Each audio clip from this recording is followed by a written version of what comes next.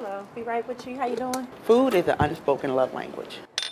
Words Naila Queen and Natasha Brown Wainwright live by. If you are a chef that um, looking for a place to pop up, um, we are here for you. They're working to put more cooks in the kitchen through the Displaced Chefs Project. That's what they're getting a platform to be able to showcase their talent. The project's goal to give displaced chefs a place to be a chef. Small and large restaurants closed because of the pandemic, and a lot of those restaurants haven't been able to recover. But this is a second chance. Whether they want to start another restaurant in the future or just um, show people that they're still here. So, like that. Naila and Natasha are part of the Culinary Queens Collective, a group of five ladies in the culinary and lifestyle industries working to help chefs rebuild. It's hard to feel like it, you're you're building something when you feel alone.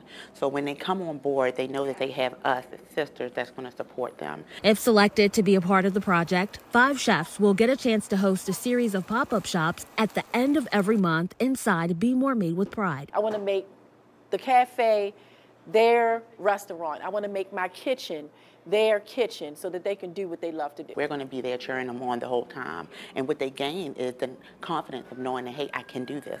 And if you're a displaced chef and you're thinking about applying to this program, all you have to do is make sure you have your menu set, you know your target audience, and have your budget set. Applications will be accepted until the middle of August. For now, reporting in your corner, I'm Janae Reese for WJZ.